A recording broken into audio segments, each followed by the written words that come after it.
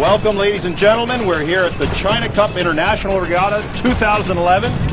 The fifth annual China Cup International Regatta started off at the Royal Hong Kong Yacht Club last night with a gala party around the poolside.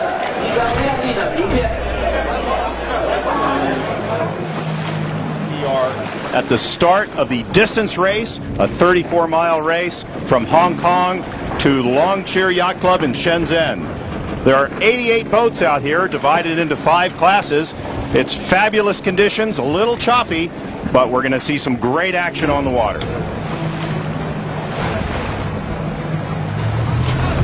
The first start is the small boat class. It's getting very crowded here at the signal boat end.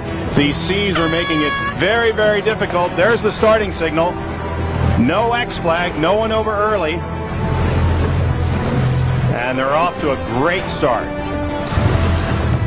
We've got multiple classes here on the starting line for the second start. Just moments away, Frank Pong's boat the Reichel Pugh 76 Jelik 2 is getting a great fast start, but just a little bit off the line. Quite a diversity of boats here in the second start. With less than a minute to go, the best is last. Finally, 29 boats lining up here. This is the Beneteau 40.7 class. It's going to be quite exciting here at the signal boat end. This is a little bit favored in these breezy, lumpy conditions. Lots of yelling going on. There are, are many, many teams from many nations here, so no doubt many languages being expressed, and who has the right of way. Listen closely for the sound of crushing fiberglass Bow number six from China squeezing in. Bow number 15 doesn't like that. There's a starting signal. A second starting signal and general recall. The general recall flag is going up. So we're going to see this over again, ladies and gentlemen. We're in our second attempt to get the Beneteau 40.7s off from their failed first start. They had a general recall. The black flag was up, so anybody over the line on this start will get automatically DSQ'd. The stakes are high. There's the starting signal, and everybody's off clean this time. 29 Beneteaus out here round out the fleet of 88. It turns out 88 is a very lucky number in Chinese culture. Earlier today on the way out to the start, we watched the Barracuda team do lucky circles in front of a goddess of Tin Hau, who is goddess of the sea. Peter Mock's Temujin, a North Shore 38 from Australia, is doing well on the outside track around Bluff Island.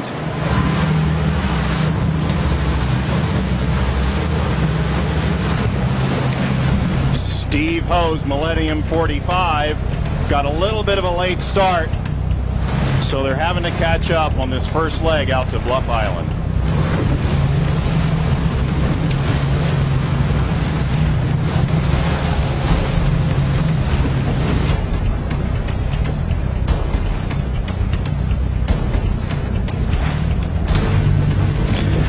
With the fabulous backdrop of Bluff Island in the background, Dr. Cito's brand new right out of the box, McConaghy 38 in its first race, showing a little bit of light air, but certainly a lot of pace. This boat is carbon fiber, built in McConaghy, a brand new boat.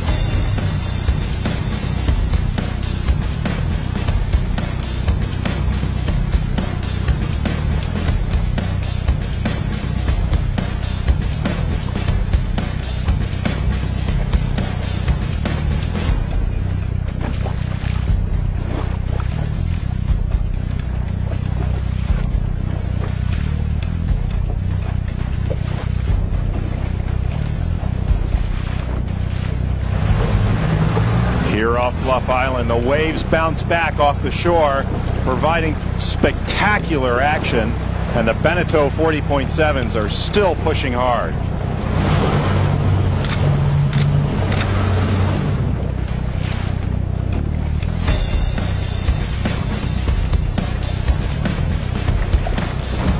Simpson Marine has tacked off the island, now coming back to try to hold on to their current second place.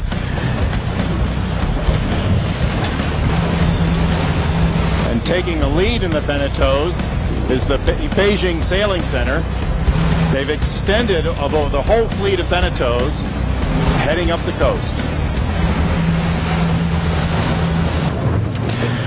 Meanwhile, up here in the front of the fleet, Frank Pong's Jelik, the Reichel Pugh 75, is struggling in light air. There's a little northwesterly that has replaced the northeast monsoon as mainland China comes up in the mist. And for one of the first times, the race committee has set the finish line right here off the Long Longcheer Yacht Club, the proper long course. Frank Pong's Jelik 2 has taken elapsed time honors here in the passage race of the China Cup. Showing a great performance in their first ever regatta, Dr. Zito's uh, Tornado 1, he's got also Tornado 2, is second across the finish line. They've been racing 5 hours and 26 minutes.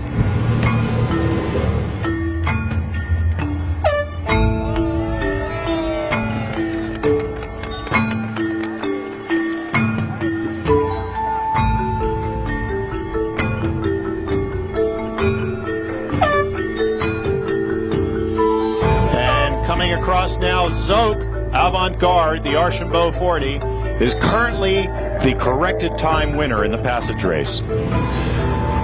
Approaching the finish line, Bow 21, China Equity. This is Thierry Perot and his America's Cup team, the China team, just shooting it up to get around that pin end. But we have a little insider information. There they go. They're looking at us here on the signal boat. There's no signal. They're wondering why.